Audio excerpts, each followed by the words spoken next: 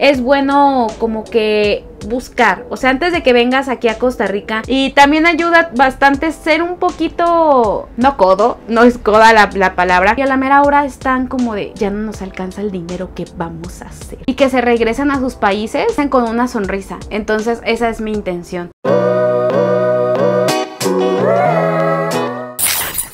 onda familia? ¿Cómo están el día de hoy? Yo soy Gloria, la tapatea Grijalba porque me piden mucho esos chisquidos. ¿Cómo están familia? Espero que la estén pasando súper súper bien, que hoy sea un día muy bueno, muy productivo, que hoy sea un día lleno de muchas cosas positivas. El día de hoy voy a platicarles de un tema que me estuvieron preguntando Tapatía Grijalva. Tú que ya tienes tiempo aquí, bueno, no es que tenga ya muchísimo tiempo, pero que ya tienes tiempo aquí en Costa Rica, cuéntanos Tapatía, ¿qué consejos le das a las personas si vienen aquí a Costa Rica para que no gasten tanto, que vengan aquí a visitar el país. Y claro que sí, Tapatía Grijalva también trata de ayudarlos a todos. Así que bueno, así que si te interesa familia, quédate conmigo hasta el final del video. Pero antes no olvides suscribirte, dejarme un like. Me apoyan bastante con esos likes. Algunos consejos que yo les doy si vienen aquí a Costa Rica de visita a turistear y para que la pasen súper súper bien.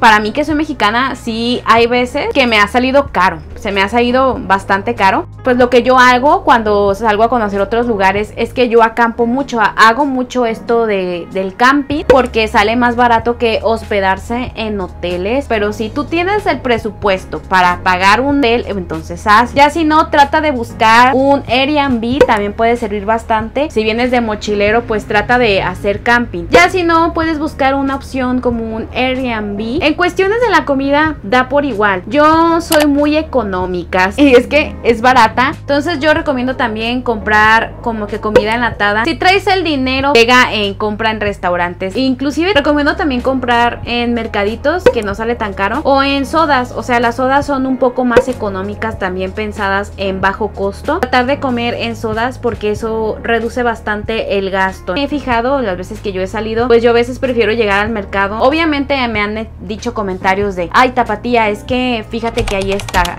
está sucio o, no sé, ustedes saben. No he tenido mala experiencia porque también reviso mucho el lugar donde voy a llegar a comer. Revisa el lugar donde vas a comer. Revisa la soda. Si ves que hay mucha gente, es un buen lugar. No llegues a lugares donde esté medio vacío. Y eso no solamente pasa aquí en Costa Rica, también eso pasa en México. Puedes hacer eso. No voy a recomendar yo ir a lugares como donde están los extranjeros europeos o, o estadounidenses o canadienses porque ellos obviamente traen dinero. Ellos traen de dónde agarrar.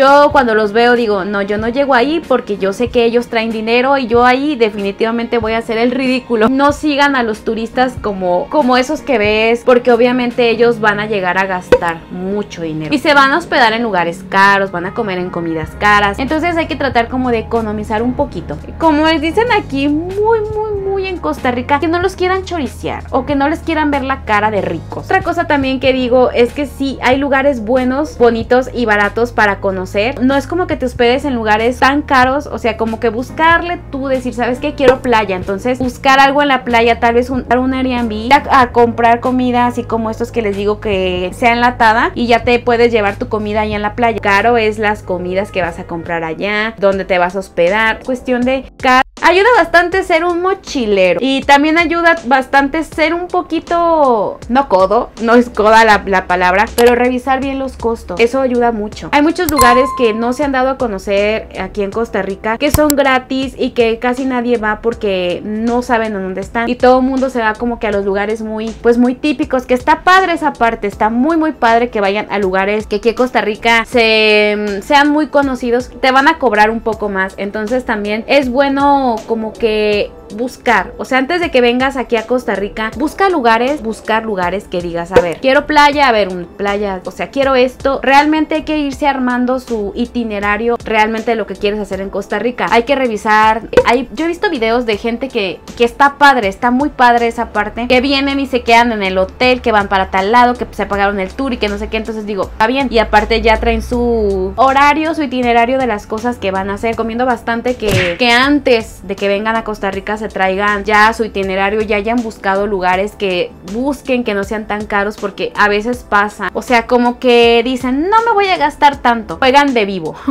Creo que juegan de vivo. Entonces como que dicen, ah, no pasa nada. Vamos a Costa Rica hay que gastar, gastar, gastar. Vamos a tal, tal, tal. Y a la mera hora están como de, ya no nos alcanza el dinero que vamos a hacer. Costa Rica es un país bellísimo. Costa Rica es un país muy, muy padre que tiene muchas cosas muy turísticas. De Costa Rica, lo que caracteriza a Costa Rica es el turismo, todo lo que hay. Sus paisajes, sus volcanes, sus playas, sus ríos. O sea, Costa Rica es asombroso y es muy natural. Pero también no es un secreto que Costa Rica sea un país caro. Entonces, sí, recomiendo bastante que sí vayan programando su visita a Costa Rica y ya tengan más o menos a dónde van a llegar. Porque sí, no les vaya a pasar que se vayan a quedar sin dinero y eso sería como quien decirlo algo feo y no disfruten y, se queden con una mala experiencia o un, un mal sabor de boca. Yo no quisiera eso porque mi intención es dar a conocer Costa Rica para que vengan muchas personas a conocer, a pasarla bien y que se regresen a sus países con una sonrisa. Entonces esa es mi intención. Así que es un país tan bello que a veces yo me siento como que en un paraíso. Realmente me siento como que estoy viviendo el sueño que yo estuve pensando y buscando este sueño por mucho tiempo y ahora que estoy viviendo en Costa Rica me siento realizada y me siento feliz,